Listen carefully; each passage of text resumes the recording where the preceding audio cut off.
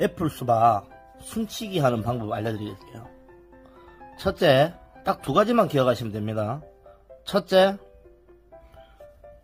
한 개에서 세 개의 튼튼한 줄기를 골라서 키우시면 돼요.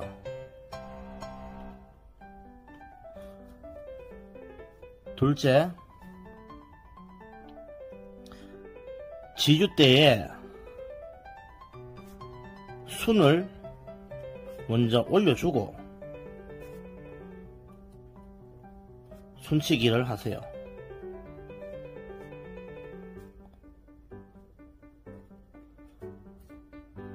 둘 중에 중요도로 따지면 얘가 더 중요합니다. 이유는 지주대를 올리는 와중에 애플 수박 순이 부러지는 경우가 있어요. 그러면 이 애플 수박은 곁순을 키우든지 배기를 하든지 둘 중에 하나예요. 그래서 제가 2번을 강조한 거예요. 얘가 여기서 만약에 부러졌습니다. 그럼 곁순을 이렇게 키우는 것보다 차라리 폐기를 하시고 이렇게 순들이 있습니다. 이 첫 번째 어미순, 두 번째 아들 순, 어, 세 번째 하다가 적심이 돼버렸네요. 그러면 얘는 아예 폐기를 하시고 여기 다른 거 남는 거 있죠. 남는 거를 사용을 하셔서 세 개를 키우시면 돼요.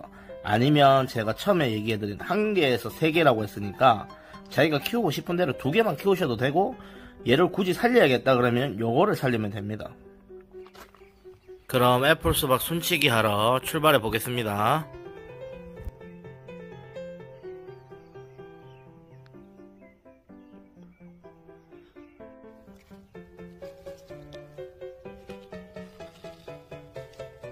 이거 찌기도 시시오. 이거 제, 제 튼튼한 거한 개. 그다음 짧은 거 두 개. 그리고 여기 옆에 올라오는 거는 일단 서고 서고 이것을 올리기 편하게 여기 한 개.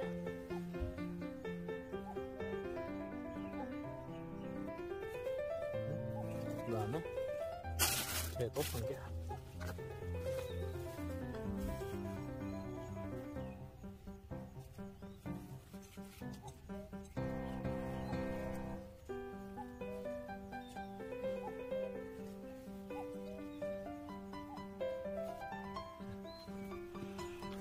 예.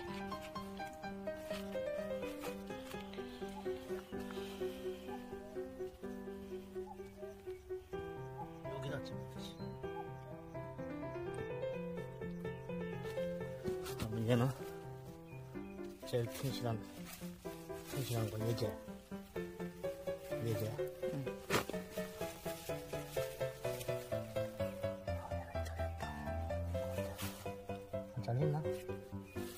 얘랑.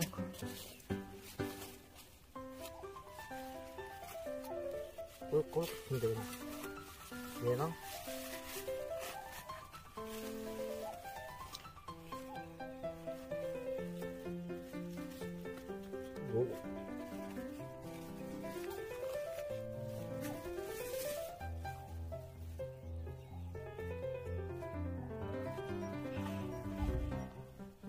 뭐그 다음에 두 번째 요거 하고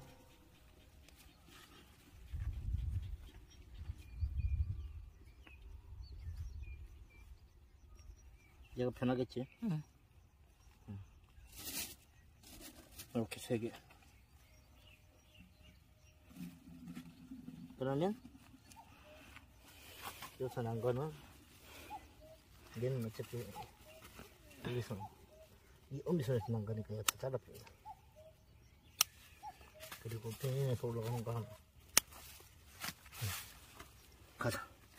자, 마지막으로 한 번 더. 이게 복잡하니까 이게 잘 찾아야 되거든. 응?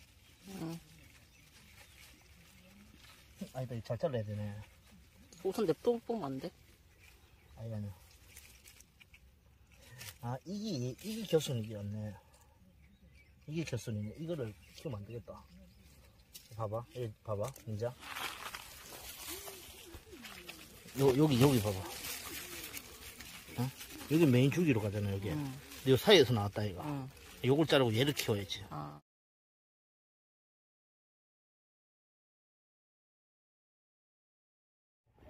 그럼 걔는 완전 죽여? 여기서 자르고. 얘를 키워야지. 잠깐만. 이러면 굳이 여기 있잖아. 세 개 있잖아. 여기 세 개 있네. 여기 하나, 둘, 셋 이렇게. 얘는 자르자. 얘를 키우면 되겠다. 얘를. 얘를. 어. 이게 완전히 메인을 끊고 음. 이렇게 세개 키워. 이렇게 세 개.